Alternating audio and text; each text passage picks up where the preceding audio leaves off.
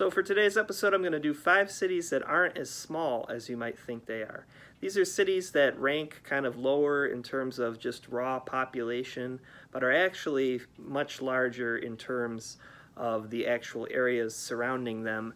And these aren't in any specific ranking or anything, but I'm going to do five of them here, and here we go.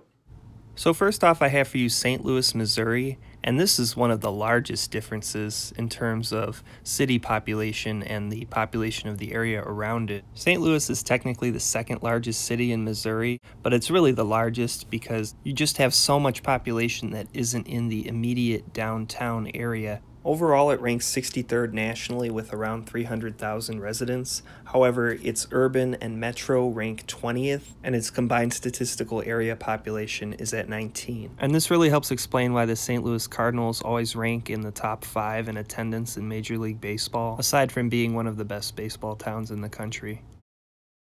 Next, I have for you Cleveland, Ohio, which is in the most populated region of the state in Northeast Ohio. And this city ranks 53rd nationally in population with just under 400,000 people, but its urban population ranks 25th and its combined statistical area ranks 17th, which is a large departure from the 53rd in terms of just city population. Cleveland lost a lot of people to the suburbs, so that's why you can drive pretty much in any of the three directions other than north, obviously, and still be in some fairly populated areas.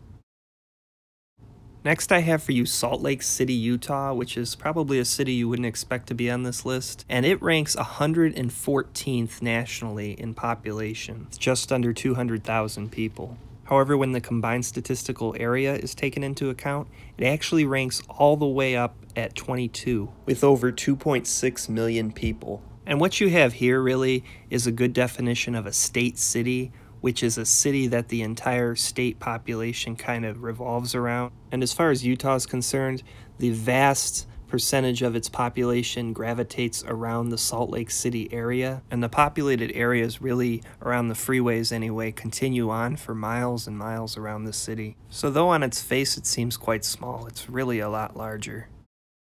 Next, I have for you Cincinnati, Ohio, which is the 65th largest city in America. While it ranks at 65th in city population, its metro is actually 28th and its CSA is 30th.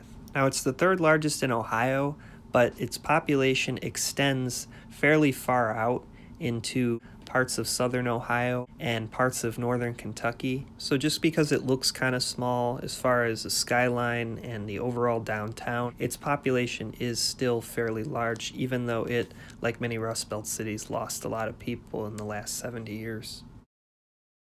Now, Orlando isn't really a city that you think of when you think of like really large cities. It's got more of a touristy reputation. However, it is very large despite being the 71st largest city in America by strict city population. Its metro ranks 23rd, and its combined statistical area ranks all the way up at 15 with over 3 million residents. So even though this ranks behind other cities in Florida in direct population, while only having one major pro sports team, it still is a very large city and only continues to grow.